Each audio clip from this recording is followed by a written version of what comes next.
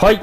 どうもジャクロでございます。はい。えー、プレミアリーグ監督詳細情報ということで今回もやってまいりました。はい。えー、今回も一部リーグ全20チームを紹介していきます。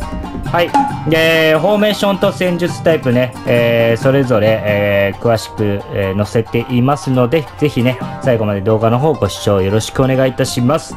で、今回もですね、えー、ペスハブを使用しております。えー、詳細はね、えー、概要欄に貼っておりますので、えー、リンクからね、えー、アプリの方を、えー、ダウンロードしていただければなと思っております。はい。でね、最後にね、フォーメーション一覧のリスト化したものをね、載せておりますので、えー、ぜひ最後までご視聴いただければなと思います。それでは、えー、早速、監督の方を見ていきましょう。はい、えー、まずはですね、グアルディオラ監督。はい。えー、ルイス・アルベルト・ロマンですね。はい、これは前回の動画でもね、紹介した通り、えー、4213のフォーメーションとなっておりまして、この監督はまあ、えー、フォーメーションがコロコロ変わりますよね。はい。ということで、今回の4213は 2OM をおける、えー、監督、えー、フォーメーションということで、えー、非常にね、希少価値の高いフォーメーションとなっております。まだゲットしてない方は、まあ、1ヶ月チャンスありますので、えー、ぜひね、えー、ゲットしていただきたいなと思っております。はい。では次の監督いきましょう。はい、えー、続いてクロップ監督ですね。はい、クロップ監督はゲール・ノート・ツワイラーという名前になっております。はい、えー、この監督は433の最強監督の候補の一人となっておりまして、まあ、非常にね、えー、まあ、使いやすくて火力が出やすいというところで、まあ、人気があるし、え強いんじゃないかなと思っております。はい、まあ、433ね、えまだ使ったことないよとか、どの監督使えばいいのって思ってる方は、えー、ぜひね、このクロップ監督を使っていただければなと思っております。はい。では次の監督いきましょう。はい、えー、モウリーニョ監督ですね、えー、グスタボ・エンリケスという監督、えーえー、名前になっております。はい、でこの監督もねフォーメーションがねいろいろ変わりますが、えー、最近ね私こう、えー、5バック結構注目しておりまして割とこうまあ悪くないかなと。5バックのフォーメーションの中でもね、えー、非常に面白いかなと思っております。気になる方はねぜひチェックしていただければなと思います。では次行きましょう。はい、えー、アンチェロッティ監督ですね、エバートン4222となっております。はい、えー、リネームがディーノ・ミレージ、えー、監督ですかね。はい、ということで、この監督もね、非常にファンが多いんじゃないでしょうか。まあ、使いやすいと思いますけどね。はい、えー、この監督もね、本当にファンが多いので、まあ、あのー、気になる方はぜひね、チェックしてゲットしてみてください。では次行きましょう。はい、えー、ハーゼン・ヒュットル監督ですね、サウスサンプトン、えー、4222、えー、リネームがですね、ベルンヘルコッホ、えー、という名前になっております、えー。この監督もですね、非常に面白い監督で、私もね、一度、えー、別のフォーメーションで人選してるんですけども、まあ、非常に面白いフォーメーションをね、毎回してくるかなという監督で、えー、まあ、使いやすいと。で、まあ、前々回ぐらいかな、この4同じ4222の形で 2OMF 置ける、えー、フォーメーションだったところが結構人気が出たんじゃないかなと思っております。では次行きましょう。はい、えー、ロジャースですね、えー、レスターの監督ですね、えー、ギネス・サザートン監督ですね。はい、えー、4321ということで、えーまあ、この監督も面白いフォーメーション、えー、だったりするので、まあ、4312とかもね、やったりするので、結構面白いかなと思います。この監督もな、使いやすいと思いますので、えー、ぜひね、チェックしてみてください。では次行きましょう。はい、えー、ウルバーハンプトンワンダラーズのエハエウ・バレト、えー、がリネームで、エスピリト・サント監督ですね。まあ、チーム名も名前も長い監督ですね。はい。まあ、この監督も532ということで、えー、どうなんでしょう。うん、5バック結構好きなんで、どの監督もちょっと使ってみたいかなっていうところなんですけどね。はい。まあ、一応ね、えー、来たらゲットしてみたいかなと思っております。はい。では次行きましょう。はい、えー、ボンマスのですね、えー、リチャード・フィルビーというリネームですかね。エディ・ハウ監督。はい、4321ということで、えー、またね、先ほどの監督と同じフォーメーションになるんですけど、これもまあ悪くないかなとは思います。使いやすそうかな。ちょっと距離感がありそうかなという感じで、まあディフェンスラインそんな高くないので、そんな無理なく使えるんじゃないかなと思っております。はい。では次行きましょう。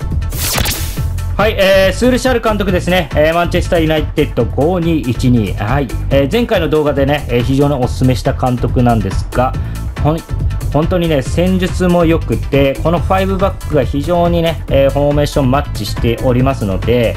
本当にゲットしてほしい監督の一人ですね。はい、本当に強いです。はい。えー、5バックの中でもね、えー、屈指の強さを持ってるんじゃないでしょうか。はい。えー、本当に使いやすいので、えー、気になる方はぜひチェックしてみてください。では次行きましょう。はい、えー、クリスタルパレスの、えー、ホジソン監督ですね。はい、433ですね。はい、この監督もちょっとね、距離はまあ6だからまあそんなでもないか。はい。まあディフェンスラインも低いし、割と使いやすそうかな。うん。でもこの433だったらやっぱりクロップの方がいいかなとは思いますけどね。また違った良さはあると思うんですけども。はい。私はクロップの方が好きです。はい。では次行きましょう。はい。えー、大注目。バンリー。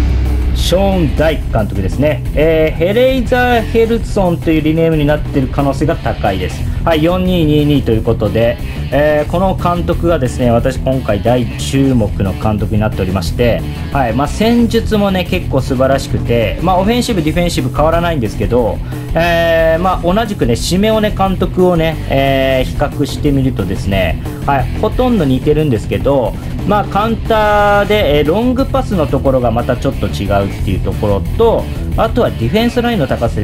高さですね。はい、えー、シメオネ監督、守備が硬くて有名なんですけども、えー、さらにですねディフェンスラインが低いので、えー、結構守備しやすいのかなと思っております、えー、昨今ですねあのフライパスとかフラゲーとかクロスゲーがね、えー、アイコニックベッカムの登場によってね、え結構使用する人が多いということで、まあ、その対策っていうのもなんですけど、まあ、ディフェンスラインはやっぱりねあまり高くない方がいいのかなと思っておりますはい、シメオネ監督はですね、えー、守備は硬いと言っても、え、やっぱりディフェンスラインは少し高めなのでやっぱりフライパスサイドのフライパスとか受けるとやっぱりちょっと脆いかなという印象はあります。はいでそれをね、えー、割と克服できるんじゃないかなっていうのがこのショーン・ダイク監督でしかもねカウンターロングパスということで結構ね攻めもしやすそうな感じなんですよね。はい。コンパクトネスが8ということで、まあ、守備も非常にしやすい戦術になっておりますのでこの監督はね今一番欲しい監督かもしれない。はいということで、私的にはね、この先ほどのスールシャール監督と同じくですね、えー、注目している監督なので、えー、まあ、持ってる人、ゲットしたよっていう人はぜひね、使用感なんかね、教えていただきたいなと思っております。はい。今回の一番の目玉と言っても過言ではない、えー、バンリーのショーン大監督でした。はい。本当に欲しい。では次行きましょう。はい、えー、シェフィールドのワイルダー監督ですね。はい、クリス・ワイルダー監督。はい、532ですね。えー、5バックね、本当に私今中、大注目しているので、まあ、カウンタータイプとかポゼッションタイプとかね、いろいろある中で、えー、まあ、ぜひね、まあ、いろいろ使ってみたいかなと思っておりますので、まあ、この監督もね、来たらね、ぜひ欲しいんですけどね、監督枠がね、全然空いてないということで、まあ、厳選することにはなりそうなんですが、はい、えー、まあ、この監督も悪くないかなとは思っております。はい、では次行きましょう。はい、えー、ワットフォードのビアソン監督ですね。はい。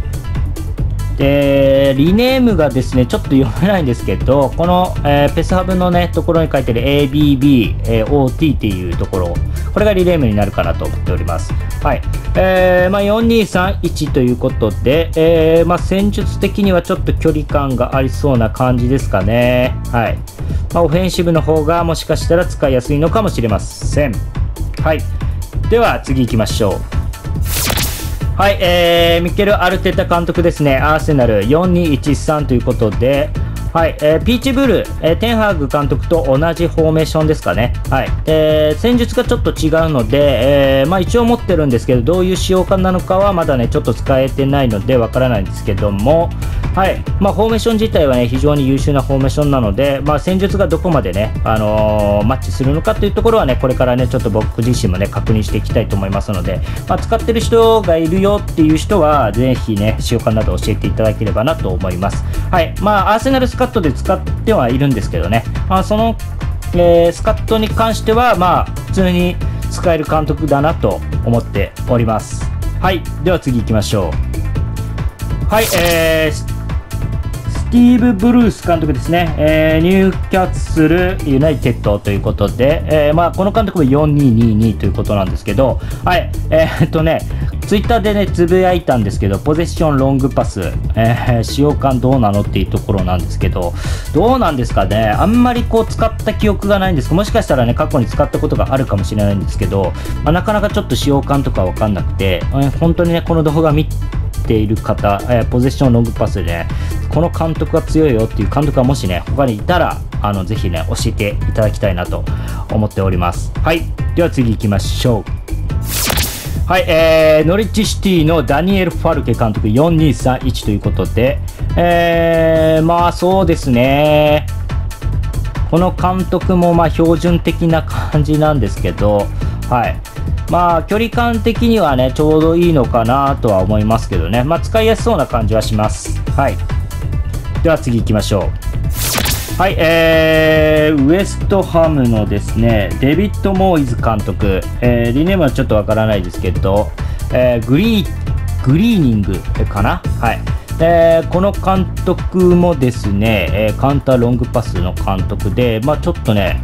この監督もね、ちょっと強そうなんじゃないかなっていうところがあります。えー、ちょっとコン守備のコンパクトネスはね、えー、5ということなんで、あと、フォアチェックか。えー、これがどう、え戦術に当てはまる、えフォーメーションに当てはまるのかというところなんですけども、まあ、それでもね、強いかなとは思います。割と強いんじゃないかなと思っているので、えー、これもですね、もしゲットした方は使用感など教えていただければなと思います。では次行きましょう。はい、えー、チェルシーのランパード監督433ということで、えー、ランパード監督も割と使いやすいかな。まあ、チェルシーのね、ファンの方もいらっしゃると思うので、えー、ぜひね、チェルシーファンの方はランパード監督ゲットしていただきたいなと思っております。はい、では次行きましょう。はい、えー、続いてですね、ブライトン・ホーブ・アルビリ、えー、アルビオン、えー、グリアム、グレアム・ポッター監督ですね。433ということで、えー、この監督もね、えー、先ほどのね、ランパード監督と非常に似てて、もうほとんど同じ、うん、距離感も結構近いですよ。あんまり変わんないかなという感じなので、えー、まあ、どっちかというと、